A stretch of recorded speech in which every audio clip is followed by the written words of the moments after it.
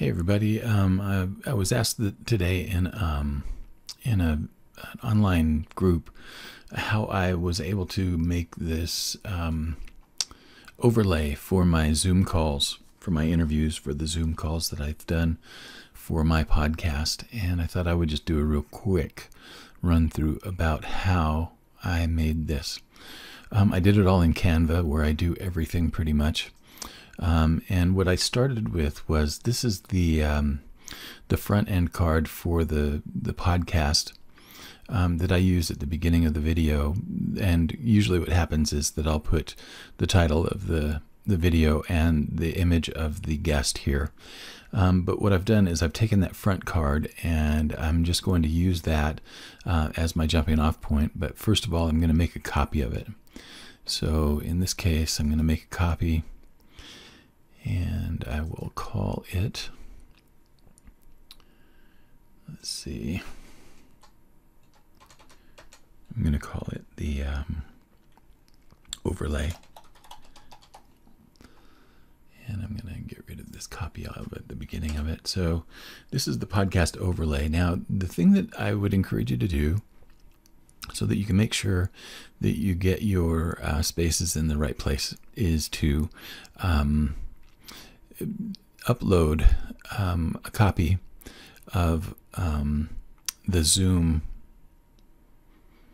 um, like a Zoom call. And what I'm going to do is I'll just put it on uh, the top of the uh, image that I'm using. And what you'll be able to see when I do this is how how it's going to lay out now, just so that you can see what's behind it, I'm going to go ahead and make this a little bit transparent.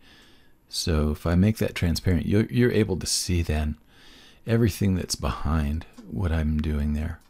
Now the way that I made my um, uh, rectangles, uh, I went to elements here and chose lines and shapes. I picked out a rectangle shape, moved it over here. Now I don't want it to go all the way to the edge. I want to have a little bit of a, a space in between I wonder what happened to my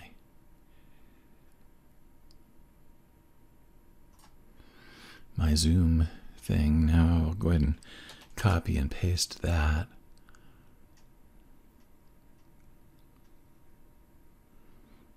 And that seems to be about lined up. Now I've got to get my uh, zoom upload back up there. I'm not sure where it went, but I'll go ahead and put it back up there so that I can make sure that it is where we want it to be and so I'll position it back so that we can so we can see where the rectangles lay out. Now you'll notice that uh, my rectangles aren't lined up exactly with the zoom video. So what I'm going to do is I'm going to move them up just a little bit so that they're even with the top of the video. And um, what I'll do is align those here.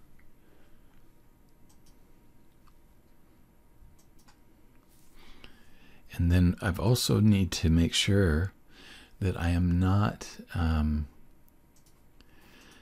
that I'm not overlapping on the bottom. I don't want any black on the bottom. So I'm going to move my bottoms up so that they line up just like that. Now, if I move the, if I get rid of that zoom screen now, I'm going to go ahead and just color these and make them white because that'll make it easier when I open them in my photo editing thing. Um, there's not a way that I can find in Zoom to um, to get rid of the um, uh, to get rid of the space. Like I can't cut it out like I can in Photoshop or in Photo Paint, which is on, is the one that I'm going to use. But you can notice here that on my on my screen now, I've got room at the bottom so that I can put names and websites and stuff like that. But up here at the top, I've got room for my own brand. I've got room for a call to action and an offer, and that gets shown throughout the whole podcast video. So that's kind of a benefit for me at this point. It's not just blank space that's up there. It's, you know, space that can be used for offers and for calls to action and for uh, informing people however you want to. So now all I need to do is I just need to download this onto my computer. I'm not going to do a transparent background because uh, it's not going to translate the way that I want it to. So I'm just going to go ahead and download it.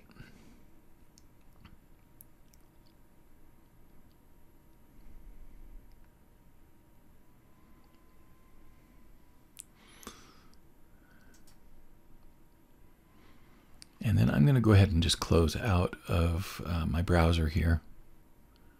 And I want to open it with Corel Photo Paint.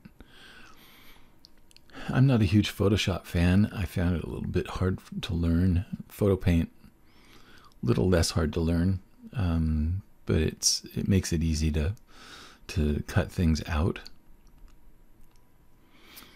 All right, now I have um, I have this open in Corel Photo Paint. Now all I have to do is crop these two rectangle areas out. And the way that I like to do that is uh, with the Magic Select tool, Magic Wand Mask. And so I just cl click that. And then I'm, once it's selected, I delete it and it's done. Makes it very easy. And then all I have to do is save it and I have to say flattened um, so that it saves it as one image, but this is what it's going to look like in the finished product. And that's all there is to it. I have just now created an overlay that can go over my uh, Zoom call videos so that it looks like uh, it looks, you know, somewhat more interesting, somewhat professional. And again, it just gives you a little bit more screen room that you can use to um, you know to put in offers, messages, calls to action, whatever it is that you want to do with that extra space, and it leaves the bottom open for lower thirds and other things like that. All right, now what we're going to do is we're going to take the overlay that uh, we made in Canva and then uh, edited uh, the spaces out so that there would be transparency uh, for where the uh, cameras um, sh show through. Now, notice this is the Zoom call uh, recording with just nothing on it, and I've added, you know, names and a name a nameplate on here. But what I'm going to do now is I'm going to go ahead and um, open up the uh, overlay, and we're going to put it on top of the video, but underneath the um, underneath the uh, text. And that is what it's going to look like. I'm going to go ahead and stretch these out so that they're the full length of the um, of the video.